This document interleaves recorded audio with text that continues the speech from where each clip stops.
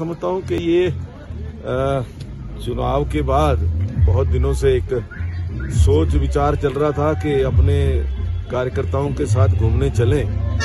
और अब इस अपने अधिवेशन के बाद आज ये मैं कहता हूँ कि बहुत अच्छे क्षण आए हैं कि आज हमारी सारी टीम जो है, कार्यकर्ताओं की आज यहाँ पर एक एंजॉय करने के लिए यहाँ पर आए हुए हैं और बहुत एंजॉय कर रहे हैं। देखिए, आज इतना सुहावना मौसम और शिमला की वादियों में अपने कार्यकर्ताओं के साथ, सहयोगियों के साथ बड़ा आनंदमय क्षण है और सभी कार्यकर्ता बड़ा एंजॉय कर रहे हैं।